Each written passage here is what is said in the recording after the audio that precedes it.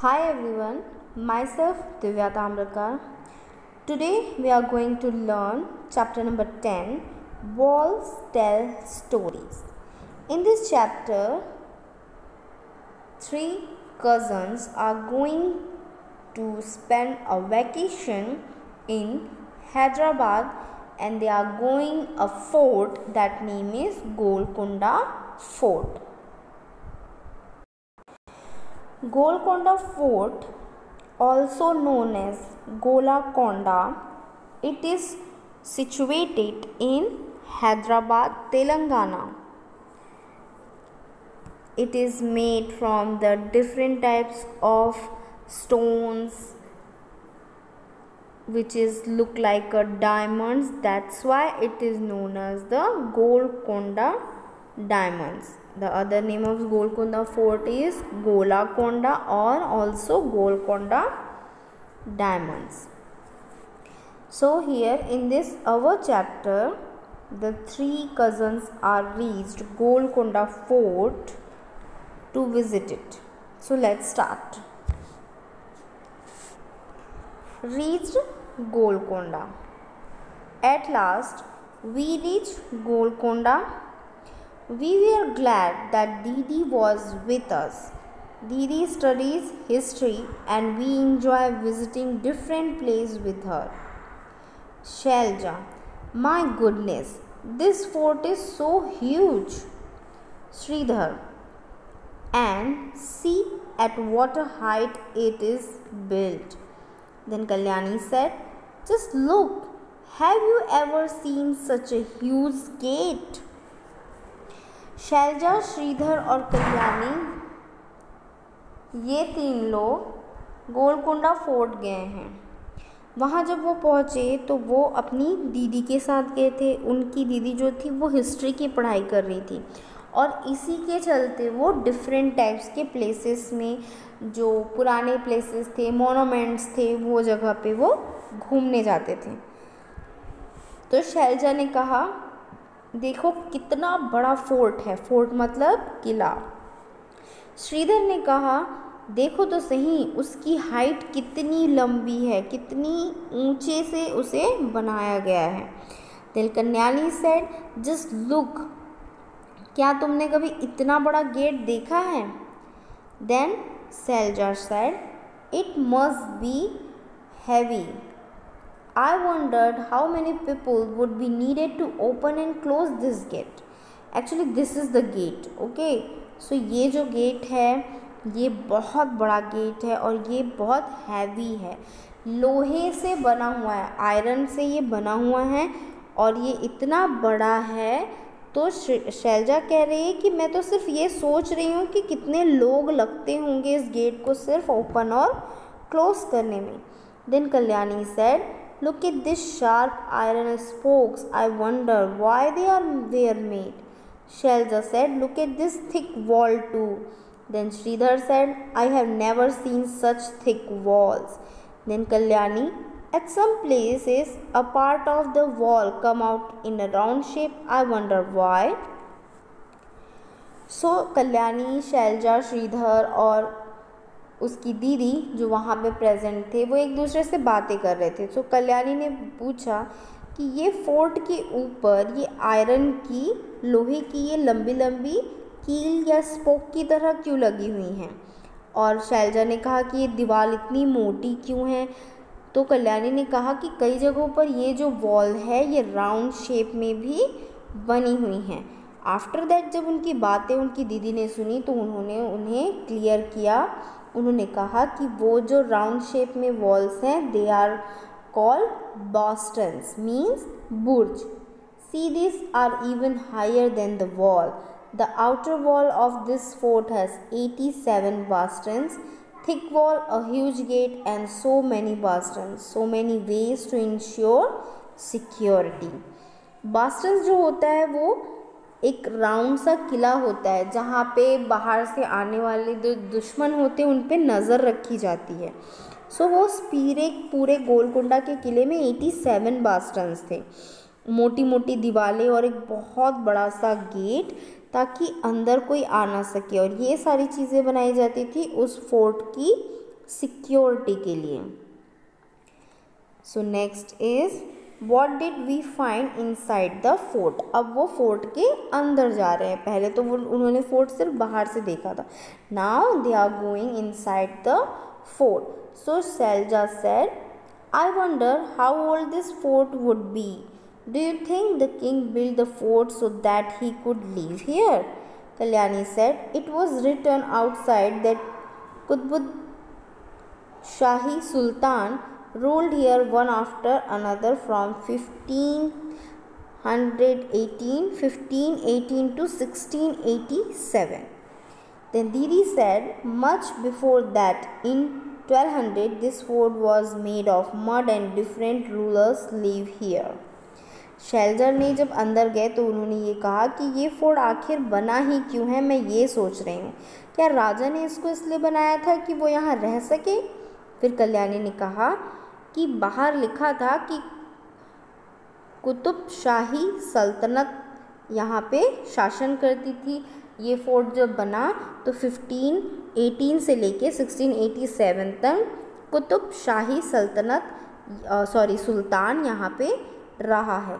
तो दीदी ने कहा कि ये फोर्ट सबसे पहले 1200 में बना था। जैसे अभी चल रहा है 2021 सो वो जो गोलकुंडा फोर्ट है, वो 1200 से बना हुआ है। तब से यहाँ पे डिफरेंट लोग रूल्स करते आ रहे हैं।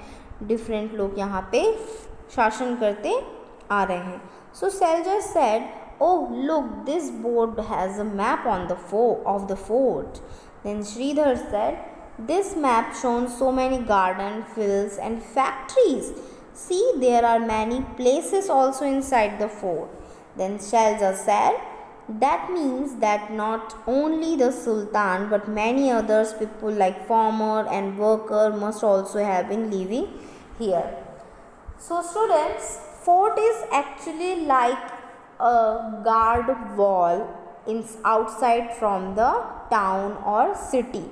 जैसे कि हम एक सिटी में रहते हैं उस सिटी को सिक्योर करने के लिए वो फोर्ट बनाया जाता था as like a gate which is made with the bricks and also a huge gate where the outsiders are come along with this gate with the permission of sultan और kings so Selja ने कहा कि उस fort के सामने एक बड़ा सा मैप भी है। शशिधर ने कहा कि उस मैप्स के अकॉर्डिंग यहाँ इस फोर्ट के अंदर गार्डन भी हैं फिल्स भी हैं, फैक्ट्रीज भी हैं। सो, और मैनी पैलेसेस भी हैं। पैलेस मतलब महल। Okay there are two difference between place and palace so, you have to write down in the comments what is the meaning of place and what is the meaning of palace. Okay? So Sailaja ने कहा that means that not only the sultan मतलब यहाँ सिर्फ़ सुल्तान नहीं रहता था, बहुत सारे उसकी जो पब्लिक थी, वो भी यहाँ रहती थी। जैसे फॉर्मर्स होते थे वर्कर होते थे, वो सब के सब उस फोर्ट के अंदर रहते थे। So basically forts forts are made to protect the people so Kalyani said it have must a complete town now they are entering the sultan's palace अब वो सुल्तान के महल में एंटर कर रहे थे। Sridhar said this step seems to go on and on so Sailaja ने कहा if this do if sorry even in those days they used to building with two floors Kalyani said Now the building is in ruins, but one can imagine that earlier there were many big halls and room here. Sridhar said, Look at the beautiful carving on the wall. It is so fine. Then Kalyani said, We also saw something like a fountain on the on one of the roofs. So Didi told them, Yes, there were many big tanks and fountain here. They used to be full of water. So so, अब वो राजा के महल के अंदर जा रहे थे सो so, सीढ़ियाँ इतनी ज़्यादा थी कि वो बस ख़त्म हो नहीं रही थी। सो सैलजा ने कहा कि उस वक्त के लोग जो थे वो सिर्फ़ टू फ्लोर्स बना रहे थे। सो कल्याणी ने कहा कि अब ये बिल्डिंग जो है वो ख़राब होने लगी है बट इमेजिन करो जब ये नई बनी थी तो वो कितनी अच्छी लगेंगी। और कितने बड़े बड़े हॉल और रूम्स थे वहाँ पे।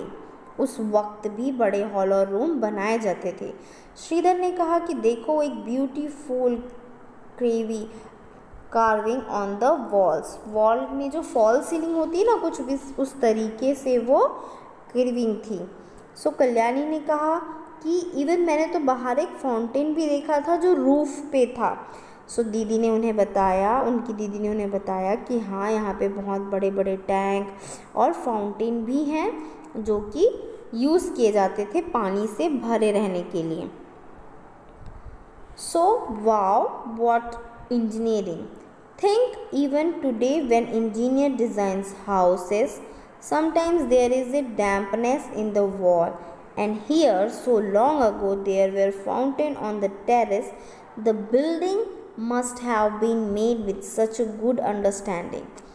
If we think how the people lived 500 years ago, so many questions come to our mind. For example, how was water lifted to such height? Can you guess how? वो ये सोच रहे हैं कि वो बिल्डिंग जब वो बनाते थे, जैसे कि आजकल के जो इंजीनियर्स हैं, वो बिल्डिंग्स बना रहे हैं बट फिर भी डैम्पनेस मतलब जो सीलन आ जाती है घर पे पानी की वजह से, वो हो जाती है। बट टेरेस पे, जो पुराने ज़माने में टेरेस पे भी फाउंटेन लगे होते थे, लेकिन वहाँ पे कोई सीलन नहीं है, पानी के कोई निशान नहीं है वॉल बिल्कुल क्लीन है। तो कितने अच्छे से ये बिल्डिंग्स बनाते थे।